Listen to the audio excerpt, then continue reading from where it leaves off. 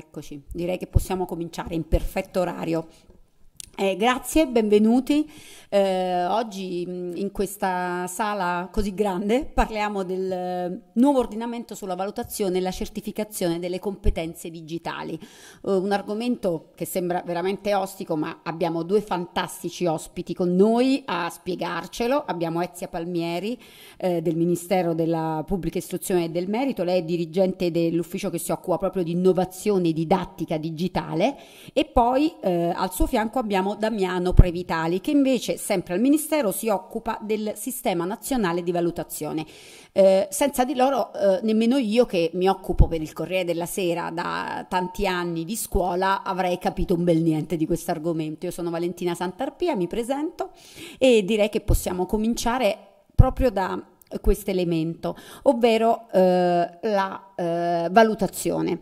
Damiano, vorrei partire proprio con te eh, perché oh, in queste ore durante la prima parte della sessione degli Stati Generali della Scuola Digitale qui a Bergamo abbiamo sentito eh, parlare molto delle innovazioni in, um, in, campo scolastico, ma soprattutto da un punto di vista tecnologico. In realtà qualcosa sta cambiando anche da un punto di vista, passami il termine, analogico, ovvero finalmente il sistema di valutazione eh, dei nostri studenti eh, sta trovando una quadra eh, sembra roba da poco, ma in realtà, come mi hai ben fatto capire, eh, si tratta di un passaggio fondamentale perché poi eh, l'omologazione, l'accorpamento farà probabilmente sì che tutti quanti noi abbiamo degli strumenti per capire questi studenti in che direzione stanno andando e come stanno evolvendo. Cioè si tratta proprio di comprendere come le loro competenze crescono nel tempo e come si può quindi anche aiutarli con le tecnologie. Quindi cosa, cosa sta succedendo? Partiamo proprio da questo punto per poi sviluppare il nostro discorso oggi.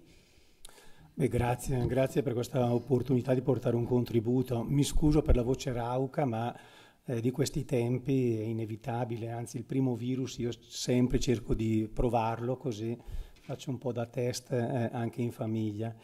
Eh, il tema è quello che diceva adesso Valentina Santarpia, ovvero eh, tutto quello che abbiamo sentito e che anch'io ho avuto modo di sentire mettendomi in ascolto da questa mattina ad oggi pomeriggio, ha un valore se ha una ricaduta all'interno delle competenze dei nostri studenti.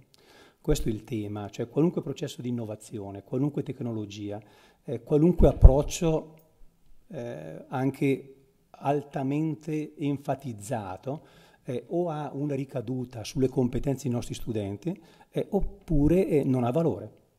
Eh, com'è la situazione rispetto alle competenze dei nostri studenti e rispetto al tema che qui stiamo trattando, alle competenze digitali? Allora, io per dirla in 5 minuti eh, mi servo di 3-4 slide, così tematizziamo un attimo la situazione. Eh, allora, ad oggi, eh, anche perché so che di fronte a me probabilmente vi sono pers- comunque persone interessate alla scuola, eh, e probabilmente anche docenti e dirigenti. Eh, la normativa collegata con l'orientamento prevede che si arrivi a un modello di certificazione unica. Oggi le competenze hanno una pluralità di modelli nella scuola, differenziati a livello dei vari gradi scolastici e delle varie offerte formative. Se volete, però vado veloce, ce ne sono ben cinque, ovvero il Ministero qualche anche lui qualche difficoltà, se riesce a metterla nei confronti delle scuole lo fa volentieri. Basterebbe dire che il modello nel passaggio dal primo al secondo ciclo sono due, sono due modelli diversi. Punto. Da qui ben venga finalmente quest'anno, stiamo parlando di quest'anno scolastico, di arrivare a una struttura unica. Il riferimento sarà la raccomandazione europea del 2018, la assumiamo adesso, cioè quindi siamo veloci, Dopo eh, solo cinque anni. E all'interno di quella raccomandazione europea, maggio 2018, c'è una competenza, la competenza numero 4, la competenza digitale. Quindi voi immaginatevi una struttura rinnovata eh, come questa, eh, anzi questa è proprio un'anticipazione, intanto è alla firma del Ministro, eh, dove vedete che c'è la competenza digitale che naturalmente ha una sua rubrica, questa è per la classe eh, primaria, eh, secondo, siamo in grado 5, sostanzialmente, che poi viene esplosa con dei livelli di certificazione. Ora, se ci fermiamo qua, eh, non succede nulla non succede nulla perché digitalizzeremo, il modello sarà digitalizzato ovviamente, ma avverrà che eh, come capitava a me, io ho fatto il preside per oltre vent'anni a Bergamo, si sente dall'accento, eccetera, eccetera, eh, quando c'era la certificazione delle competenze, riunivo il consiglio di classe, ci si metteva in parte al tavolo, il coordinatore prendeva in mano il modello cartaceo e diceva cosa mettiamo a questa competenza?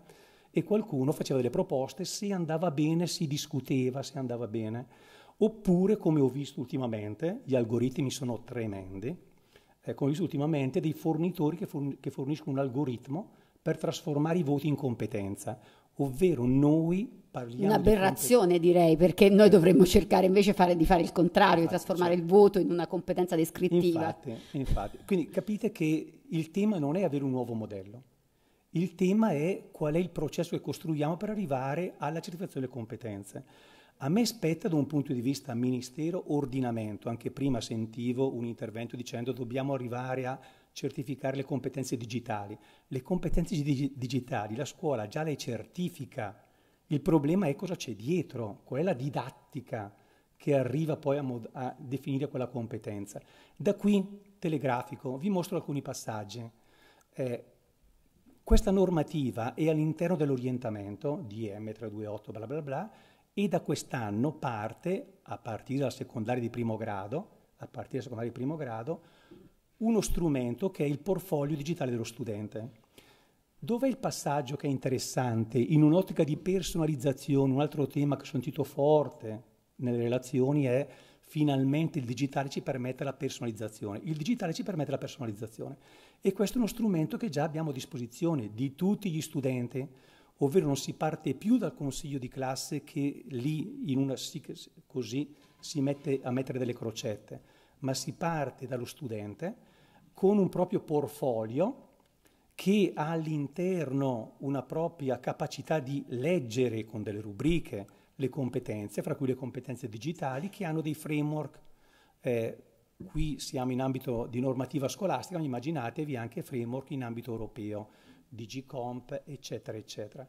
E solo alla fine si arriva ad avere un modello di certificazione delle competenze.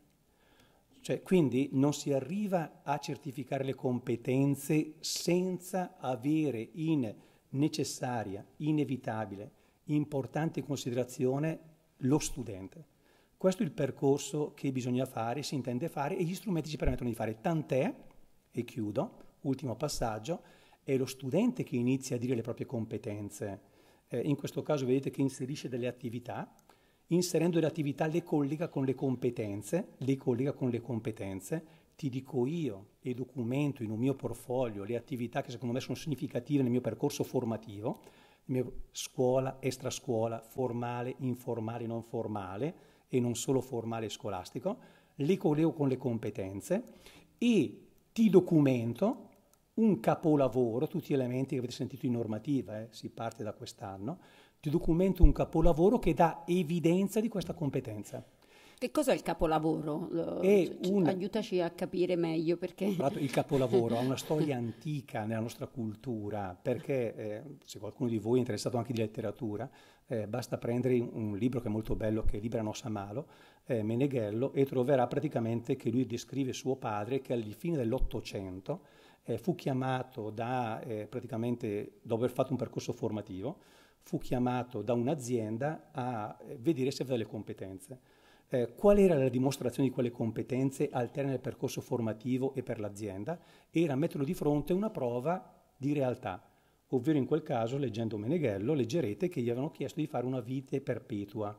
Eh, iniziò a farla col tornio, fisicamente, quindi una cosa reale, concreta, concreta iniziò a farla, dopo due minuti non la terminò e il datore interessato lui gli disse ok fermati, ho capito tutto, cioè tu quella competenza ce l'hai, non me la devi dire, me la devi dimostrare, mi devi dare un'evidenza.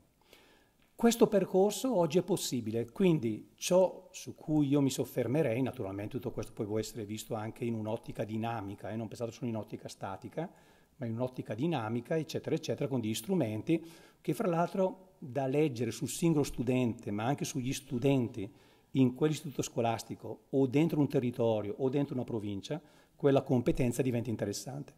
Noi ci fermeremo qua, noi come ordinamento, noi come organizzazione collegata con la normativa scolastica, perché ciò che avviene a scuola deve essere comunque supportato da una normativa, altrimenti non avviene. Non. Eh, naturalmente ciò che adesso interessa da parte nostra, questa è proprio la struttura del portfolio di ogni studente, vedi la certificazione delle competenze ciò che adesso interessa da parte nostra è approfondire come arrivare a certificare le competenze in ambito digitale. E infatti è quello che volevo proprio chiedere a Ezia Palmieri, cioè la competenza digitale è un altro, è un altro diciamo, argomento di cui ecco, si parla tantissimo, adesso anche all'interno del, del corpus delle competenze degli studenti che diventerà finalmente appunto un corpus unico.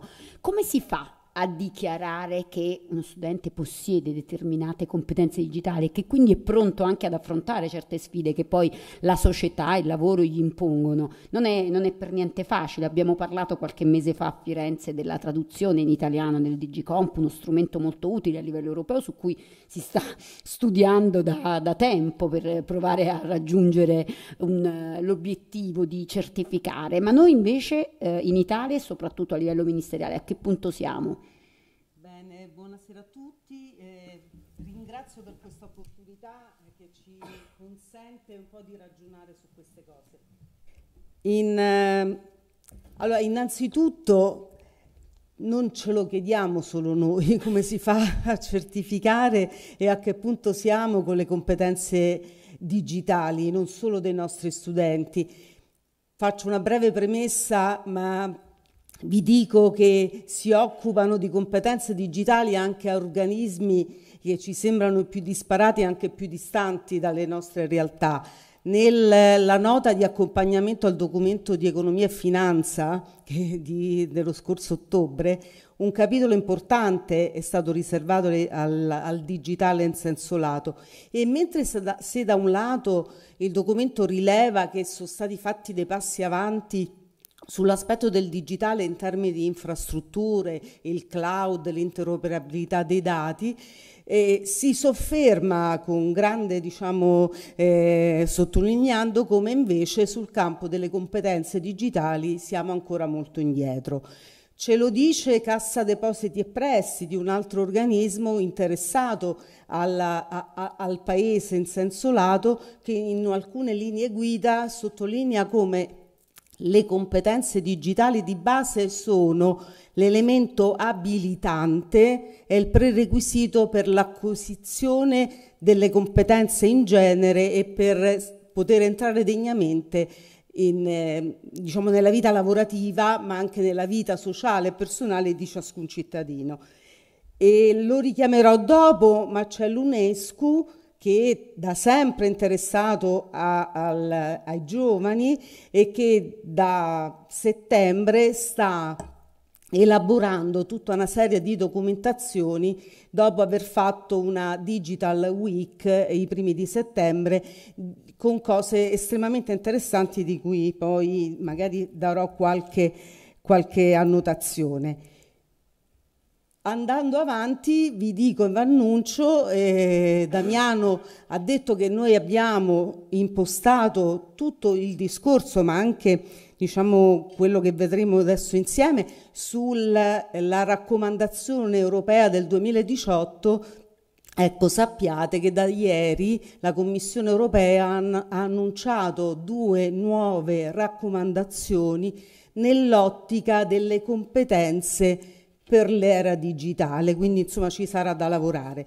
Una cosa eh, importante, altra cosa importante da dire è che sempre a livello di Commissione europea si sta lavorando ad una certificazione delle competenze sulla base di quello che ormai noi conosciamo bene per le lingue, cioè in modo da poter consentire ai cittadini e chiaramente nel nostro caso ai nostri studenti di acquisire, di certificare una competenza in modo uniforme e coerente in tu, in modo, e, e perché sia poi spendibile in tutto il contesto europeo. Quindi insomma il dibattito è ampio.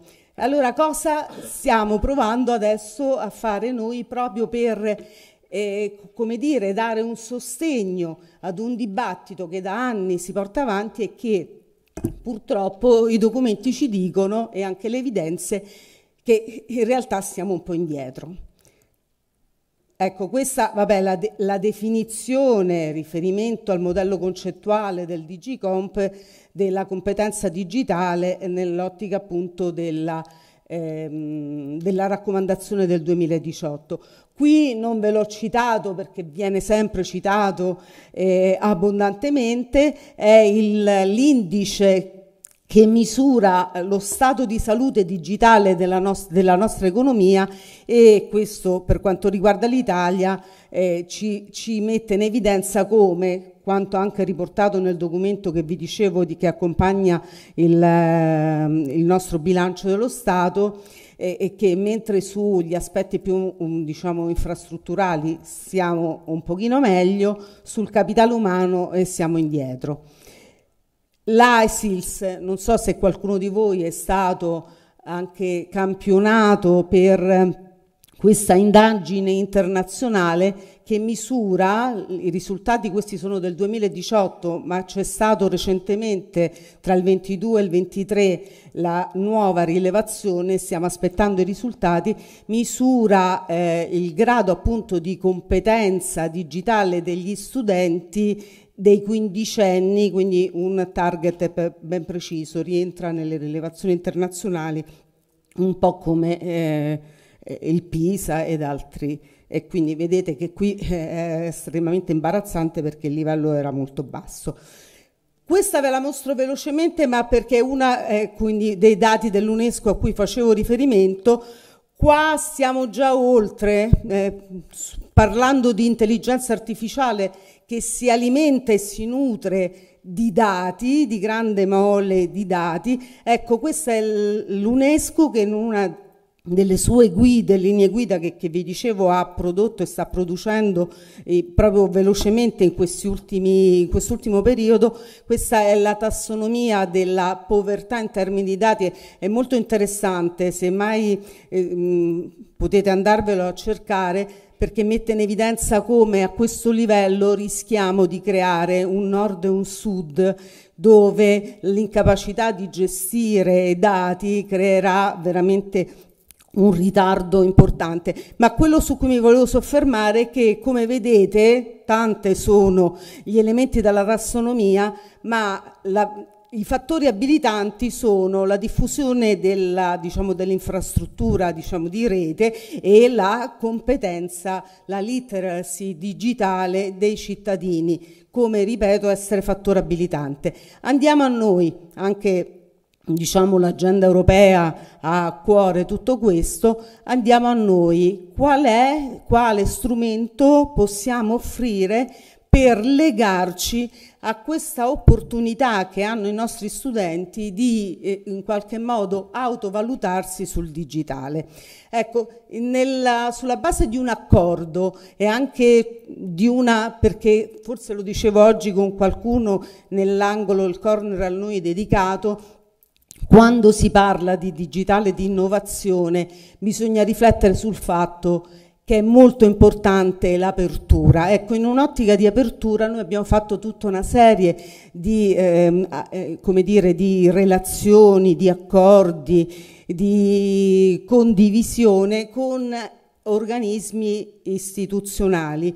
In particolare qua faccio riferimento a un accordo che abbiamo con Repubblica Digitale che all'interno della Presidenza del Consiglio nell'ambito del Dipartimento per l'innovazione digitale si occupa della definizione di, di tutte le politiche, gli interventi sulla digitalizzazione del nostro Paese. Loro avevano a disposizione delle, dei video che erano stati realizzati proprio alla luce e sulla base del framework del Digicomp 2.2 e che in una modalità di accordo abbiamo avuto a disposizione, li abbiamo un po' ritagliati e adattati alla realtà scolastica e questi sono diventati gli strumenti che metteremo a disposizione dei nostri studenti per autovalutarsi. Quindi per capirci cerchiamo un attimo di, di spiegarla bene Esatto. perché è molto importante. Gli studenti avranno a disposizione, diciamo così, dei test che potranno fare anche da soli per capire a che punto sono io col digitale. Sono convinto di essere un nerd bravissimo, super veloce, in realtà magari mi mancano invece delle basi forti e importanti e questi strumenti potranno essere usati sia a scuola sia dagli studenti stessi. Perfettamente, Valentina, hai centrato esattamente qual è, diciamo, lo strumento che abbiamo a disposizione. Ma non è solo il test, eh. il test viene successivamente alla fruizione di, eh, dei video didattici che sono diversi a secondo della competenza, poi lo vedremo, lo leghiamo al livello 8 al livello 10, quindi le parti di competenze digitali che prese dal Digicomp 2.2 sono più adatti a questi due segmenti di popolazione studentesca. La fruizione del video che possono fare autonomamente, liberamente, ma che può essere anche strumento di lavoro in classe con i docenti, alla fine di questo percorso ci, ci sarà un test il poi test... andiamo a sviluppare uno strumento che tutti potranno presentare, che è l'open badge, giusto? Ecco, perfetto, dobbiamo chiudere. Questa, diciamo, questa documentazione così completa, a fronte del superamento del test, del livello di posizionamento del test ha automaticamente in sé perché quando nell'accordo con Repubblica Digitale e col Dipartimento abbiamo preso tutto, diciamo, tutta la struttura, secondo la logica della blockchain, genera un open badge che attesterà il livello le competenze che in quel momento su quel pezzo di formazione ha acquisito lo studente. Open Quando badge... parli di studenti 8 e 10 spieghiamolo, sono quelli di terza media e di Esatto, forse di, più diciamo, avanti scuola dell'obbligo. Anche... No, forse... giusto per essere sempre sicuri che tutti possano eh, seguire il nostro discorso, credo che sia fondamentale. Ecco, questa è pro, un po' proprio tutta la struttura, secondo appunto la logica che ho appena descritto. Quindi ci sono questi moduli fatti di video lezioni, ci sono anche a supporto delle esercitazioni e anche dei testi proprio di riferimento su cui potersi esercitare, ci sarà il test finale. Il test finale, secondo una struttura ben codificata perché ci sono, cioè, c'è, c'è, tutto, ripeto, il legame con la blockchain che sapete essere quello strumento che eh, certifica e attesta che quella è una eh, diciamo, eh, mh, competenza che è stata raggiunta e che sarà spendibile eh, in ogni contesto e quindi la fruizione. Pre, pre- I livelli, eh, no, preciso perché il grado 8, come già detto, è riferito agli studenti alla, diciamo, della terza media, per dirlo all'antica. Il grado sì. 10 è il legato al superamento dell'obbligo, quindi il secondo anno delle scuole superiori. I due percorsi sono eh, diciamo in cascata, cioè non si può fare il 10 senza aver fatto l'8 e chiaramente eh, in questo momento si parte, magari faranno prima uno e poi l'altro, ma in prospettiva pensiamo di poter offrire eh, ulteriori percorsi formativi anche per gli altri gradi. Previtali, che cosa ne pensi? Questo metodo per certificare la competenza digitale può rientrare all'interno di quella valutazione delle competenze che dicevamo e soprattutto, questa è la domanda più difficile, ehm, molto bello a livello teorico, ma poi lo studente dove sta? Cioè stiamo veramente dandogli attenzione o stiamo come al solito modulando qualcosa a monte che poi ricasca su di lui eh, senza una valutazione veramente attenta delle, dei, degli effetti e delle conseguenze? Oh, grazie per la domanda, perché tipicamente noi eh, tendiamo ad essere dentro anche delle procedure eh, e non sempre ci facciamo invece delle domande di senso eh, come questa. Eh, allora, il primo passaggio è sì, secondo me questo è un percorso che dà eh, ulteriore valore alla certificazione delle competenze quindi per mettere in fila proprio i passaggi. Quest'anno arriviamo con un nuovo modello per la certificazione delle competenze che finalmente, secondo me, aggiorna i, le situazioni pregresse che non erano aggiornate e eh, dà per tutti i modelli una struttura comune, punto. Eh, detto questo, in realtà eh, non succede nulla, eh, perché o quelle competenze sono dentro un percorso, eh, e quello che ha detto prima Ezia è un percorso promosso dallo stesso studente in un'ottica di autovalutazione, eh, oppure non sarà nient'altro che a richiesta della famiglia un certificato che si rilascia. In questo caso con il portfolio non sarà più richiesto dalla famiglia, ma sarà dentro un documento digitale in automatico e la famiglia lo scarica quando vuole.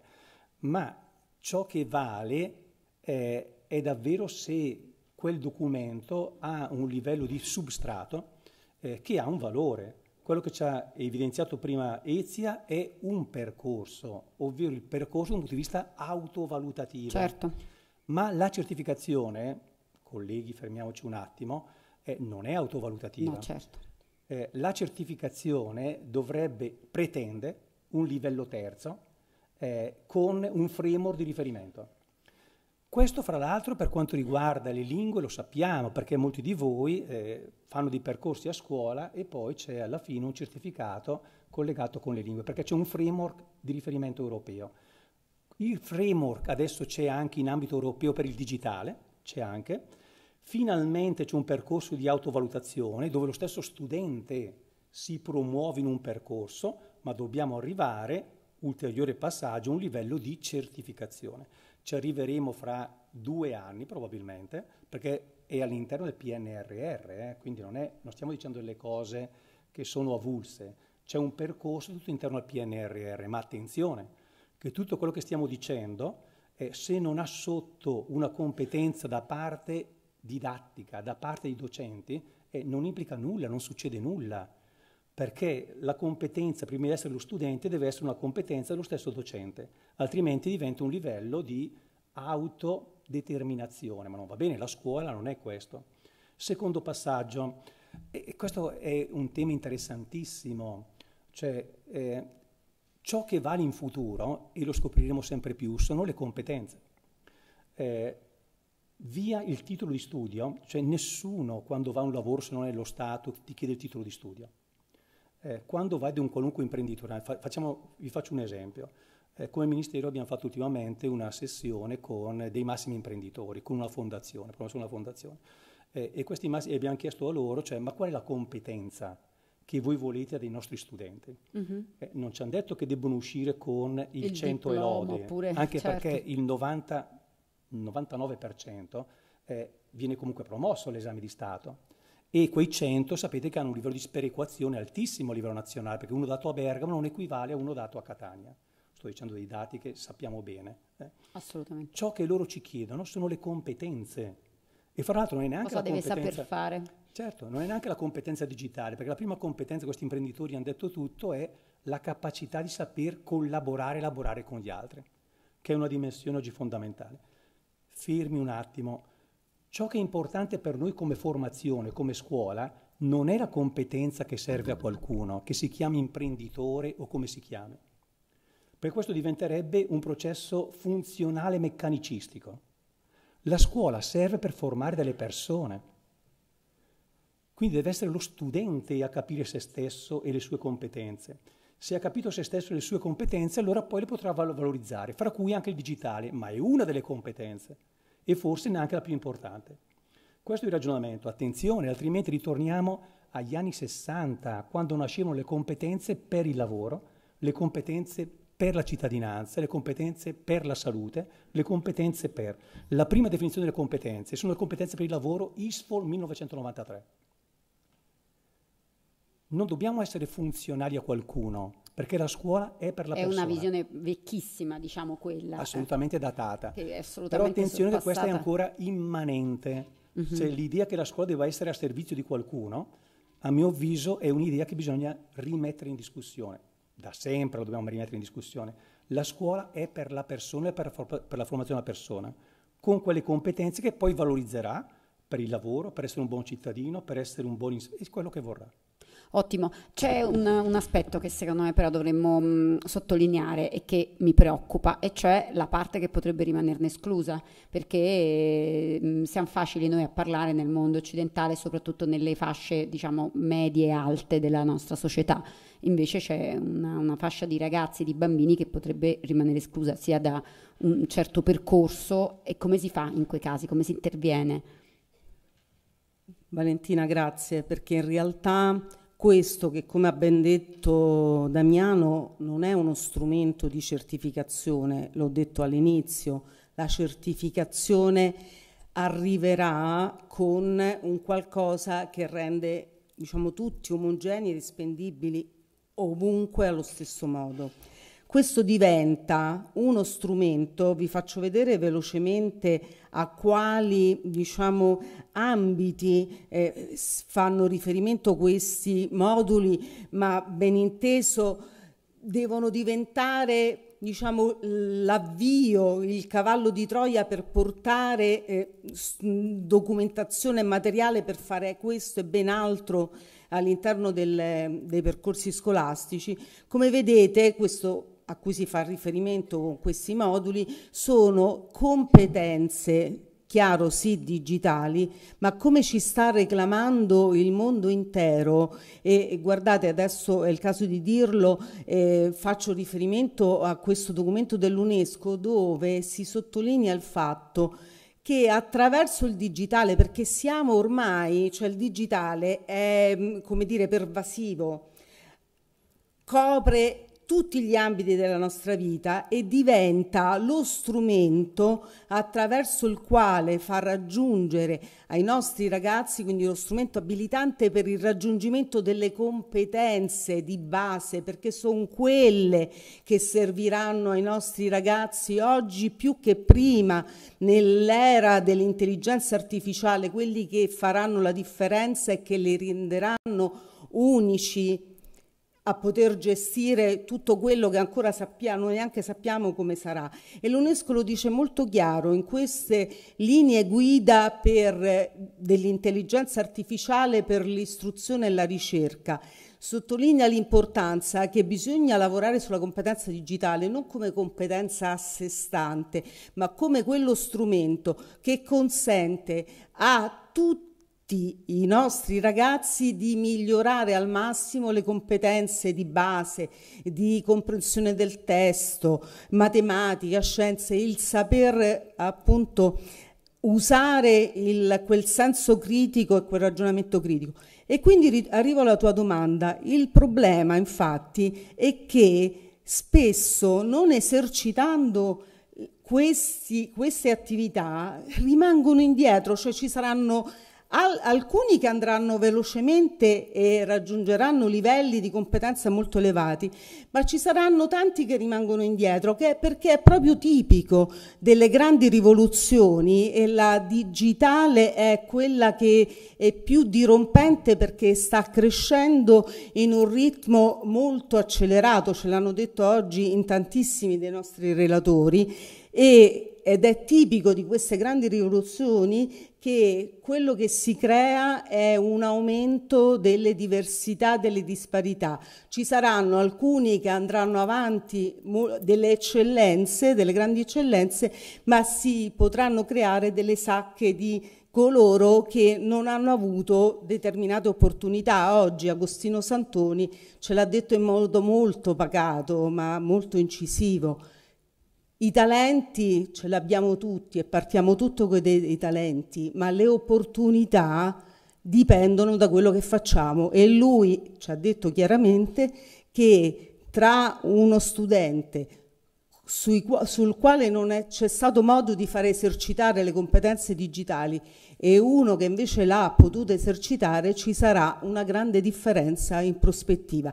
Tutto tutto questo lavoro, oltre che per diciamo, eh, aiutare gli studenti ad una autovalutazione, perché poi quando è che ci rendiamo conto che dobbiamo intervenire su qualcosa? Solo quando ci, mettiamo un attimo in discussione, sulla base di una valuta- autovalutazione magari individuiamo eh, l'ambito su cui intervenire, ma diventa strumento per poter lavorare a scuola in modo tale che questa sia una competenza trasversale per tutti.